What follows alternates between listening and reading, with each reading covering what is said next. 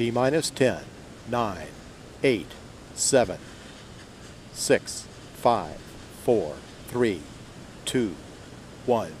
And ignition and liftoff of Ares I-X, testing concepts for the future of new rocket design.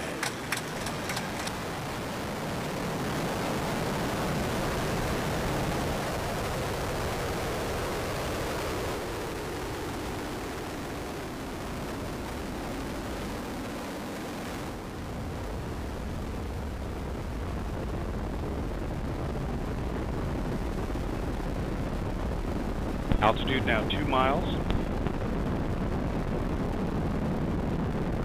Chamber pressure now tapering off as designed. The vehicle is aligning, aligned itself with the planned trajectory. We passed Mach 1 and we're now passing Max Q. We have our Max Q system ID maneuver PTI engaged.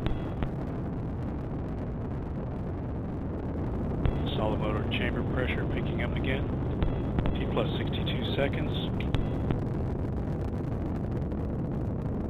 Now passing Mach 2. Vehicle now 10 miles altitude, downrange distance 8 miles, and a velocity of 1,540 miles per hour. Plus 80 seconds, we've started our supersonic large amplitude ID maneuver PTI. We see the response.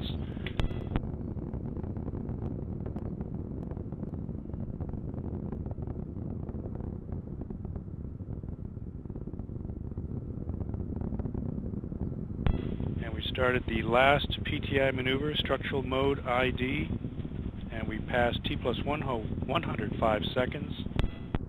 Vehicle's now traveling Mach 4, 20 miles altitude, downrange distance 32 miles. The uh, SRM tail off is observed. Burnout.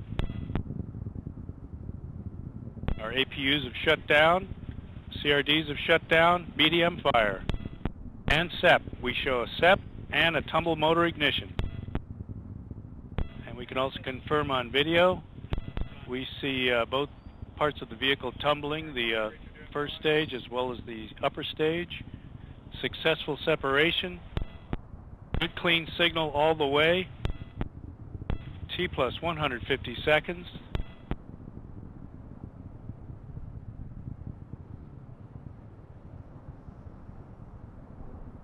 And we'll have a burnout orbit uh, parameter in just a second.